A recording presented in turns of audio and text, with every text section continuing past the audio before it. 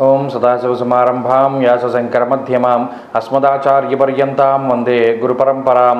జ్యోతిషాస్త్రాన్ని భావితరాల వారికి ప్రసాదించిన ఋషుల యొక్క పాదపద్మాలకి నమస్కారం చేసుకుంటూ అలాగే నాకు ఈ జ్యోతిష విద్యను నేర్పిన గురువర్యులు జ్యోతిష బ్రహ్మ కీర్తిశేషులు శ్రీ ఈరంకి సూర్యనారాయణమూర్తి గారు సూర్య శ్రీ దైవజ్ఞ గారి యొక్క పాదపద్మాలకి నమస్కారం చేసుకుంటూ ఓం శ్రీ మహాగణాధిపతి నమ శ్రీ గురుభ్యో నమ హరి ఓం. వీక్షకులందరికీ నమస్కారం. మే నెల ఐదవ తారీఖు లగాయితూ మే పదకొండవ తారీఖు వరకు ఉండేటువంటి గ్రహగతుల ఆధారంగా ద్వాదశ రాశుల వారికి ఈ వారం ఏ విధమైనటువంటి శుభాశుభ ఫలితాలు కలగబోతూ ఉన్నాయో ఈ కార్యక్రమం ద్వారా తెలుసుకుందాం. అందులో భాగంగా ఈ వారం ఉండేటువంటి గ్రహగతులను గమనిద్దాం.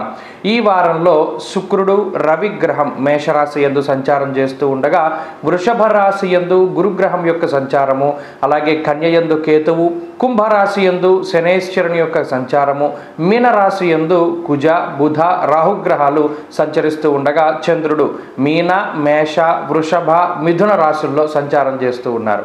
ఇటువంటి పరిస్థితుల్లో ద్వాదశ రాశుల వారికి ఏ విధమైనటువంటి ఫలితాలు కలగబోతుందో తెలుసు. వృశ్చిక రాశి వారికి ఈ వారం సానుకూలమైనటువంటి వాతావరణం గోచరిస్తూ ఉన్నది. ప్రత్యేకించి సప్తమ స్థానమందు గురుడు చాలా బలమైనటువంటి గ్రహంగా ఉండగా షష్ఠ స్థానమందు రవి యోగిస్తూ ఉండగా పంచమ స్థానమందు బుధుడు అలాగే ఈ వారంలో చంద్రబలం ఉండడం వెరసి నాలుగు గ్రహాల తాలూకు శుభ ఫలితాలు ఈ రాశి వారికి రానున్నాయి. అయితే ఇవి ప్రత్యేకమైనటువంటి పరిస్థితులు. ఐదు ఆరు ఏడు ఈ స్థానాల్లో గ్రహాలు యోగించడం అనేటువంటిది కొంత పూర్వపుణ్యాన్ని అభివృద్ధి చేసేటువంటి దిశగా ఆగ్రహస్థితి ఫలితాన్ని ఇస్తుంది. ప్రత్యేకించి ఒక కుటుంబానికి సంబంధించినటువంటి విషయాలు.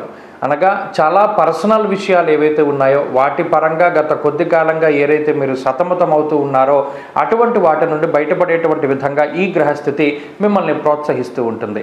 అంతేకాక సకాలంలో నిర్ణయాలు తీసుకుంటూ ఉండడము సకాలంలో భోజనము సకాలంలో నిద్రపోతూ ఉండడము ఇలా ఆరోగ్యాన్ని పెంపొందించుకునేటువంటి పనులు అలాగే ఒత్తిడి తగ్గుముఖం పట్టడం ప్రతి చిన్న విషయానికి భయపడేటువంటి పద్ధతి నుండి బయటపడడం ఇటువంటివన్నీ కూడా వృశ్చిక రాశి వారి ఈ వారంలో చూడబోతూ ఉన్నారు. అంతేకాక ఏవైతే గతంలో వాయిదా పడ్డటువంటి శుభ కార్యక్రమాలు కానీ గతంలో వాయిదా పడ్డటువంటి ప్రయాణాలు కానీ మరలా తిరిగి ఆ తీర్థయాత్రలు ప్రయాణాలు విహారయాత్రలు ఇవన్నీ కూడా ముందుకు సాగేటువంటి పరిస్థితులు ఈ వారంలో ప్రత్యేకించి కనబడుతూ ఉన్నాయి. ఇక కుటుంబ ఆర్థిక విషయాలు మెరుగ్గా గోచరిస్తూ ఉన్నాయి. ఆరోగ్యపరమైనటువంటి విషయాలు ఈ వారం చాలా చక్కగా అనుకూలంగా ఉన్నాయి. ప్రత్యేకించి లౌకికమైనటువంటి వ్యవహారాల్లో ఉద్యోగ వ్యాపారాల్లో చాలా చాకచక్యంగా క్లిష్టమైనటువంటి పరిస్థితుల్ని దాటగలుగుతారు.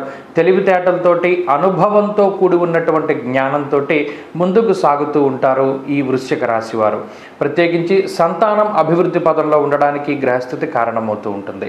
ఉద్యోగపరంగా వ్యాపార పరంగా గ్రహస్థితి చాలా సానుకూలంగా గోచరిస్తూ ఉన్నది.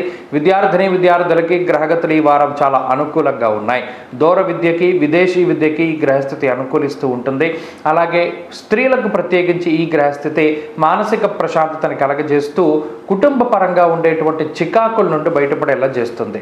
వృశ్చిక రాశి వారి ఈ వారం మరింత అనుకూలమైనటువంటి ఫలితాలను సాధించడానికై అర్ధాష్టమ శనిదోష నివారణార్థం కాలభైరవ స్తోత్రాన్ని పారాయణ చేస్తూ ఉండడం చెప్పదగినటువంటి సూచన. ఈ వారం కలిసొచ్చేటువంటి రోజు ఈ వారంలో గురువారంగా చెప్పవచ్చును అదృష్ట సంఖ్య ఒకటి. అదృష్ట వర్ణము ఆకుపచ్చ రంగు. తదుపరి ధనురాశి.